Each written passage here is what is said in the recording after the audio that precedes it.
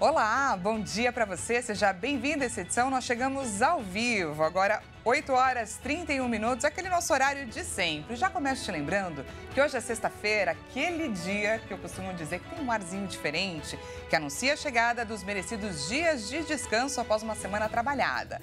Mas nem para todos, afinal seguimos aqui na missão de apurar e te contar as notícias que movem o Brasil e o mundo. Vamos juntos então conferir os assuntos que estão em destaque no 23 de fevereiro.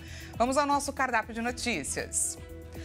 Lula se reúne com Lira e líderes da Câmara e promete mais proximidade. Três pessoas são presas por suspeita de ajudarem detentos de Mossoró após fuga de prisão. Em encontro com o chanceler russo, Lula deixa claro que Brasil quer sim contribuir para a paz na Ucrânia. E ainda, Congresso da Flórida aprova a lei para proibir uso de redes sociais por menores de 16 anos. A gente te conta tudo isso e muito mais a partir de agora. Seja muito bem-vindo. Em um gesto de aproximação do parlamento, Lula convocou o presidente da Câmara dos Deputados, Arthur Lira, e líderes partidários para um jantar no Palácio da Alvorada. O evento acontece num momento de crise entre os poderes para tentar facilitar as negociações com o Congresso. Vamos ver. A proposta do encontro é informal, sem uma agenda pré-definida, com o objetivo de fazer um gesto de aproximação com os deputados para conseguir aprovar pautas de interesse do governo no Congresso, de forma especial. Projetos voltados à área econômica, como o projeto de lei que gradualmente reonera a folha de pagamento, bem como o destino do programa emergencial de retomada do setor de eventos. Na outra ponta, líderes também pretendem aproveitar a ocasião para negociar a distribuição das emendas parlamentares. O presidente quer manter uma proximidade maior e prometeu dialogar mais para poder entender o que acontece em cada região. As medidas devem ser discutidas com o ministro da Fazenda, Fernando Haddad, na próxima semana. Além do encontro desta quinta-feira, o presidente escalou os ministros Rui Costa e Alexandre Padilha para intensificar o diálogo com o legislativo. Mudando de assunto, mais de 500 policiais federais, rodoviários federais e estaduais estão empenhados na recaptura dos criminosos que fugiram da penitenciária de Mossoró. A Polícia Federal prendeu três suspeitos de ajudar os detentos que fugiram do presídio de segurança máxima do Rio Grande do Norte. As buscas pelos dois criminosos que fugiram no último dia 14 da Penitenciária Federal de Mossoró, no Rio Grande do Norte, continuam. Uma força-tarefa tem avançado na recaptura dos detentos e identificado pistas em torno dos fugitivos. Segundo o governo federal, mais de 500 policiais federais, rodoviários federais e estaduais estão empenhados na recaptura dos criminosos. Além disso, outros 100 agentes da Força Nacional de Segurança Pública irão apoiar nas buscas. Três suspeitos de ajudar os detentos que fugiram da Penitenciária Federal de Mossoró, no Rio Grande do Norte, foram presos pela PF. Segundo o Ministério da Justiça e Segurança Pública, uma pessoa foi presa em flagrante por posse de drogas, armas e munições. Outra foi alvo de mandado de prisão temporária e uma terceira prisão aconteceu em função de mandado em aberto. No total, foram cumpridos nove mandados de busca e apreensão nas cidades de Mossoró, no Rio Grande do Norte, Quixeré e Aquirás, no Ceará. Os agentes também apreenderam com suspeitos armas, celulares, drogas e um carro. A fuga foi a primeira registrada em penitenciárias federais. O Brasil possui outras cinco unidades prisionais do mesmo modelo. Uma resolução propõe a instalação de canis e gatis em penitenciárias para contribuir, além da ressocialização de detentos, na redução de penas para quem cuidar desses animais. Quem traz para a gente mais detalhes é o nosso repórter Anderson Nascimento. A medida aprovada pelo Conselho Nacional de Política Criminal e Penitenciária estabelece a instalação de canil e gatil nos estabelecimentos penais. O projeto entrará em funcionamento na penitenciária de Tremembé 1 e no Centro de Detenção Provisória de Taubaté. O objetivo da proposta é qualificar os detentos para a reinserção no mercado de trabalho através de um curso técnico com certificado, possibilitando a atuação e contratação por empresas de diversos ramos, além de humanizar os sistemas de execução penal, já que, segundo especialistas, a convivência com animais pode representar vínculos afetivos saudáveis, trazendo, portanto, benefícios psicológicos aos detentos. Também é incluída no documento a redução da pena de acordo com com os serviços prestados. Segundo o relator da proposta, Alexander Barroso, a medida vai beneficiar não só os privados de liberdade, mas também os animais abandonados, com alimentação, saúde e meio ambiente equilibrado, além da oferta de adoção para a população. Todos os animais serão vacinados, vermifugados e castrados pelo Centro de Controle de Zoonoses, ou órgão equivalente, estadual ou municipal, antes de serem enviadas às instalações. Esse é nosso repórter Anderson Nascimento, direto do Rio de Janeiro. Mudando de assunto, o Ministério da Saúde registrou 363 mortes de indígenas e anomames no primeiro ano do governo do presidente Lula, em 2023, que chegou a prometer solucionar esse problema. Segundo a Secretaria de Saúde Indígena, os dados são preliminares. A quantidade de óbitos notificados é superior ao número oficial de 2022, quando foram apontadas 343 mortes. Mas profissionais de saúde não comparam os dois anos em razão da subnotificação elevada de casos no último ano do governo anterior. A emergência em saúde pública declarada em 20 de janeiro de 2023 levou uma maior presença de profissionais no território, com maior identificação de casos. Mesmo assim, o número de mortes foi elevado, devido à persistência da crise humanitária enfrentada pelos Yanomamis. Dados sistematizados por meio da Lei de Acesso à Informação apontaram a ocorrência de 345 óbitos na terra indígena em 2023. Esses dados foram extraídos do Sistema de Atenção à Saúde Indígena em 20 de dezembro de 2023. O boletim mais recente traz dados de até 30 de novembro do ano passado. Conforme esse relatório, 308 Yanomamis ou indígenas de outros subgrupos na região morreram até a data. Mais da metade dos óbitos foi de crianças de até 4 anos de idade. Entre as causas principais das mortes, pneumonia, diarreia, malária e desnutrição. Os casos de malária somam mais de 25 mil. Um inquérito em saúde indígena é conduzido no CESAI e IBGE e os números dos anos anteriores, inclusive 2023, podem sofrer alterações, conforme o secretário do Ministério da Saúde. Veibe Tapeba disse ainda que o território tem hoje 40% a mais de profissionais de saúde em comparação com 2022. Ele admitiu que o atendimento de saúde ainda não chega a comunidades em razão da permanência da exploração ilegal de ouro. Não há segurança mínima para as equipes de saúde. Os Yanomamis vivem uma crise humanitária em razão da invasão de garimpeiros em seu território. Até 2022, auge da invasão, eram 25 mil garimpeiros nas terras Yanomamis. A paralisação das atividades de campo dos servidores do IBAMA, iniciada no dia 3 de janeiro deste ano, já afeta o setor automotivo. Nesse momento, as empresas que enfrentam problemas são as que buscam a documentação necessária para importação de veículos, com destaque para os automóveis híbridos e elétricos que vêm da China. Pelos cálculos do órgão, há cerca de 18 mil carros parados em diferentes pátios e portos mundo afora, à espera de documentação para embarcar rumo ao Brasil. A saída desses automóveis de seus países de origem depende de anuência do Instituto, que precisa emitir uma licença de importação. Essa licença de importação comprova que o IBAMA está ciente da entrada desses produtos no território nacional, atestando que os veículos estão de acordo com as regras ambientais vigentes no Brasil. As empresas até podem assumir o risco e embarcar esses modelos, porém, caso sejam submetidos à inspeção na chegada ao país, há o risco de receber multas elevadas de impossibilidade de distribuição. A chinesa BYD, que importa os veículos elétricos mais vendidos do Brasil, é uma das mais preocupadas com a paralisação. E essa questão não se resume aos veículos. Para a BYD, a paralisação das emissões de licenciamento ambiental de projetos de transmissão e geração de energia elétrica, bem como de ativos de exploração e produção de petróleo e gás,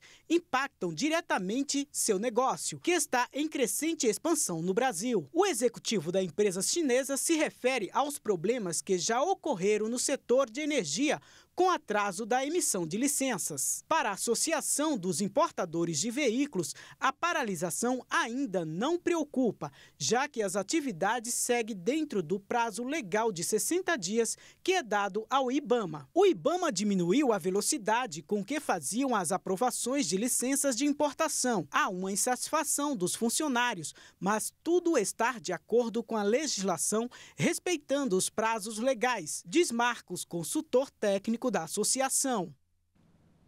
A concessionária de saneamento básico do Rio de Janeiro enviou um ofício para a Agência Reguladora do Estado afirmando que a SEDAI não forneceu dados corretos sobre o tratamento de esgoto de várias cidades. Segundo o documento, há uma diferença entre números fornecidos anteriormente em relação à realidade. O governo nega. A Águas do Rio, principal concessionária de saneamento básico do Rio de Janeiro, afirmou que o governo estadual inflou os dados sobre coleta de esgoto de cidades em que atua no edital de licitação para a privatização do serviço em 2021. Em ofício enviado ano passado à Agência Reguladora de Energia e Saneamento Básico, a empresa afirma que a SEDAI não forneceu dados corretos sobre o tratamento de esgoto de várias cidades do estado. Segundo o documento, há uma diferença entre números fornecidos anteriormente em relação à realidade que a Águas do Rio encontrou depois de vencer o leilão da SEDAI. A revisão pode impactar investimentos de 24 bilhões de reais prometidos, incluindo a despoluição da Baía de Guanabara. Em nota, o governo estadual afirma que está avaliando os números do processo de concessão e que qualquer necessidade de ajuste poderá ser pleiteada pela concessionária. A Águas do Rio diz que discute o tema com a Genesa e o governo desde novembro de 2023 e reforça o compromisso com a execução do plano de investimentos. Veja a seguir, encontro com, com chanceler russo, Lula deixa claro que Brasil quer contribuir para a paz na Ucrânia. E ainda, Congresso da Flórida aprova lei para proibir o uso de redes sociais por menores de 16 anos. A gente volta já já. Não perca!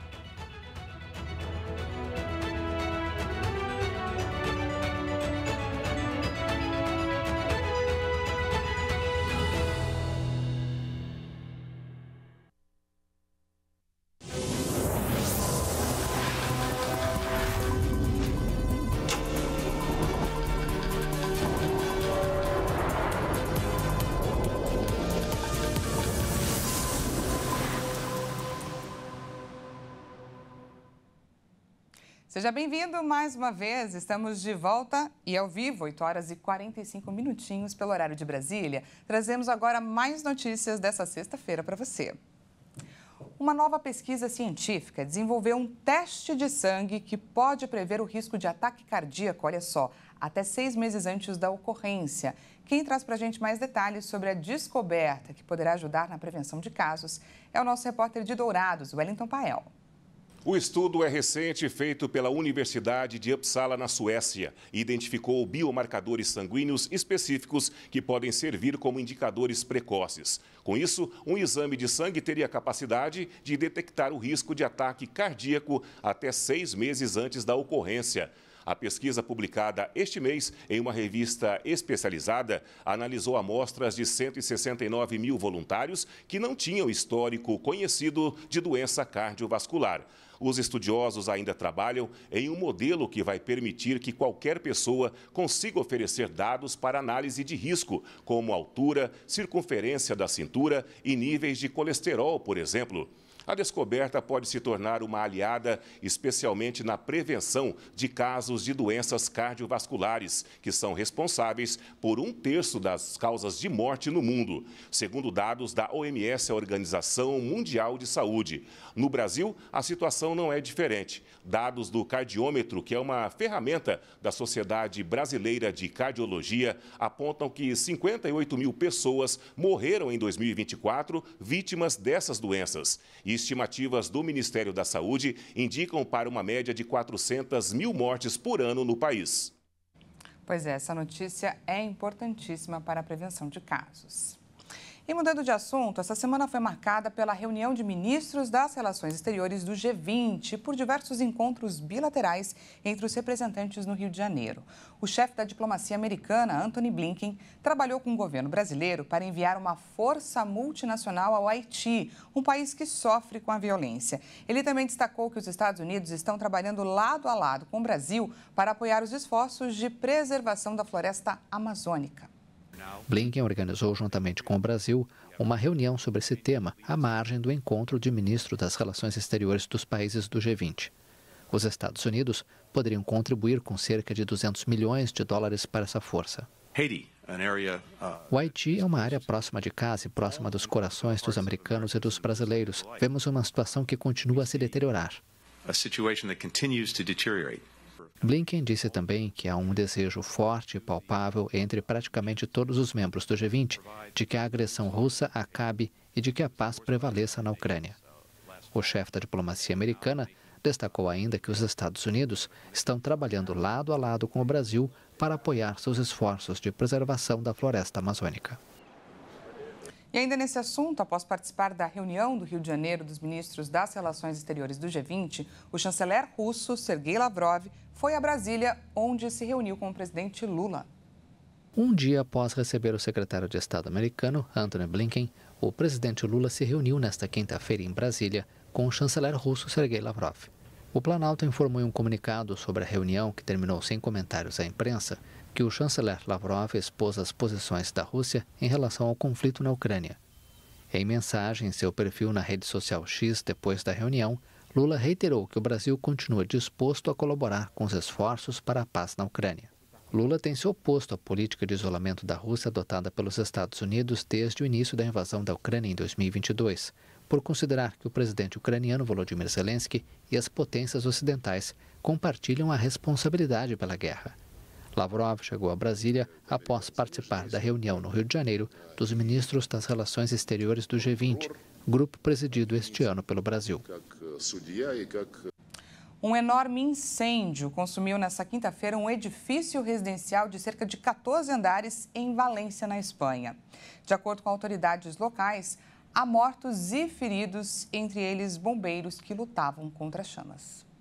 O incêndio começou no quarto andar e rapidamente se espalhou para outros níveis do edifício de 138 apartamentos, construído há pouco mais de uma década. É uma coisa horrível, terrível. A verdade é que dá arrepios. Pensar que tem gente lá dentro, animais, moradores, famílias, pessoas que, como eu, que aconteceu comigo, chegaram do trabalho e poderia ter sido meu prédio, claro. É um choque. Eh, claro, te dá um choque. Segundo o Serviço Regional de Emergência, foram mobilizados 22 bombeiros e 8 unidades médicas, incluindo uma viatura para atender as várias vítimas. A unidade de emergência militar também foi ao local para ajudar no trabalho de conter as chamas.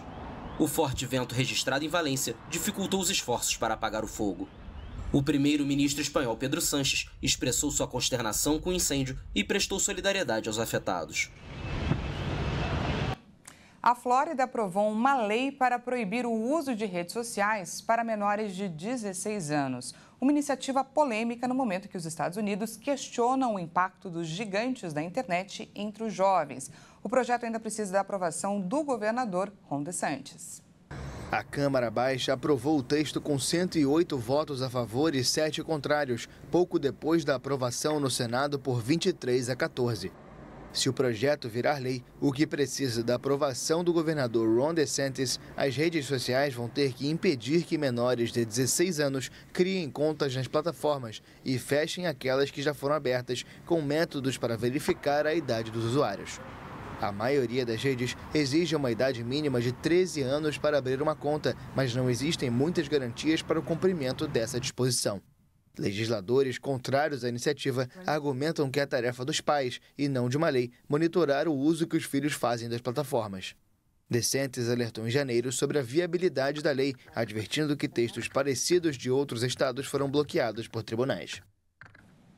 Depois de muitos anos adotando uma educação 100% digital, a Suécia está redescobrindo a importância dos livros físicos. Pois é, agora os alunos usam praticamente pela primeira vez livros impressos na sala de aula. Um dos países mais ricos do mundo adotava desde a década de 1990 uma estratégia massiva de informatizar os materiais didáticos e as aulas.